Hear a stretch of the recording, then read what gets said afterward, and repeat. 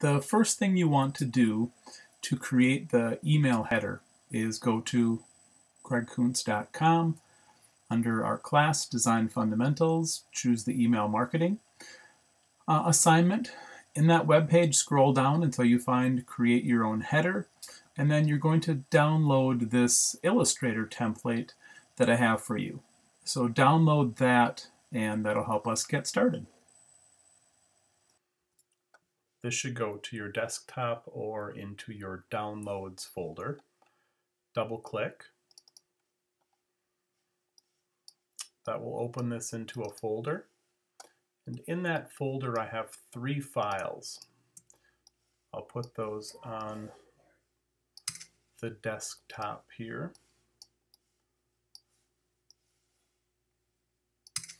The first is the Illustrator file, and then I have two photos just to show you how to swap them out with your own photo.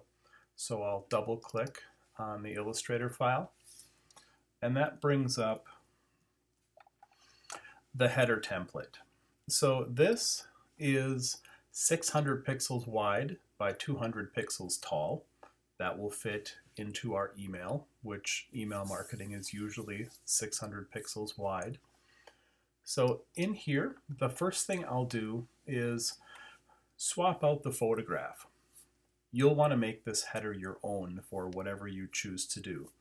So to swap out the photograph, I'll simply click the photograph over here in the corner and I will go to links in the links palette, you will see that the photo linked right now is titled Woman with Dog 1. I want to swap that out with the other photograph I gave you just for demonstration purposes, Woman with Dog 2.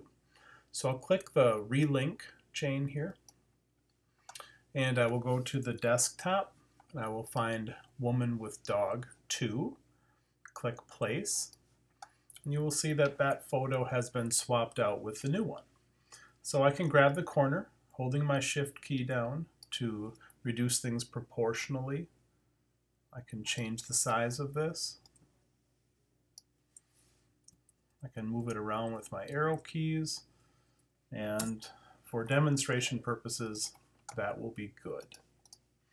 Close my links palette and now I have replaced that photograph so you can do whatever you want, find whatever photo you want. I would choose Unsplash or Pexels.com to use your or to find your photographs. So next we will change the header. And I see my highlight is not showing up, so I'm going to go to Show Edges under View.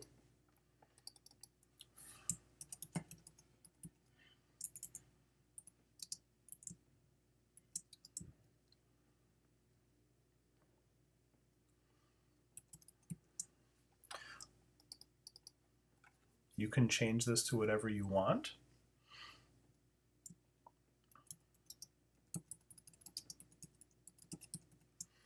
So now I have Craig's Dogs. We're going to open this up a little bit. Craig's Dogs, Dog Walking Services. This is our weekly newsletter. So this is the way our new header would look. You can put whatever you want up here. So in order to make this web friendly so that the file is as small as possible and then it delivers quickly through an email browser, I am going to go to File, Export, Save for Web. This opens up a new window. You can see here it's a window inside of our Illustrator window. And I am going to choose JPEG because I have a lot of photograph in here. We choose JPEG. High here is fine.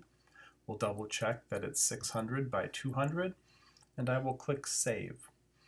Just for your reference, you'll see down here, after we optimize this file and make it web friendly, it is only 27K down here. Very, very tiny file. So I'll go to Save. And then I can save this whatever I want. Um, I'll name this Craig Kunce header template. I'll just go to my desktop right now. I'll take off the class design fundamentals and I'll click save. So that processed it and made it web friendly by stripping out everything that it really doesn't need. So I'll go to hide Illustrator and you will see that here is my new header with the new photo and my name and everything in there. Now I will go back to MailChimp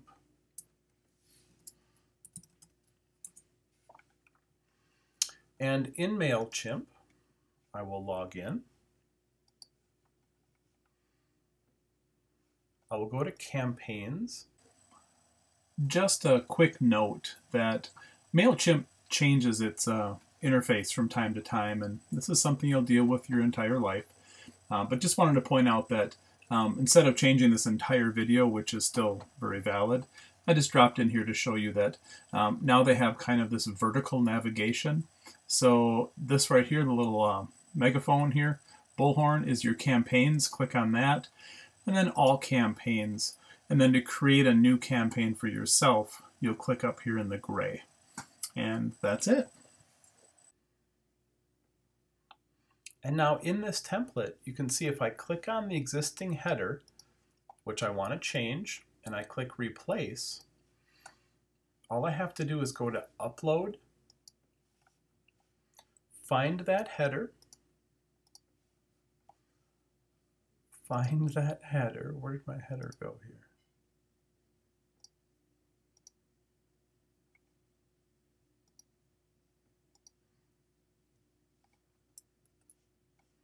That would help if I was on the desktop. So this is my new my new header. See it's 600 by 200 pixels. Click open. It will upload it. Select that file click Insert, and it will swap it out. You can see it has maintained the 600 by 200 pixels. Save and close, and now you have your new header. That's it. So you'll do the same by making the header fit whatever subject matter you're using for your email marketing blast. Thank you.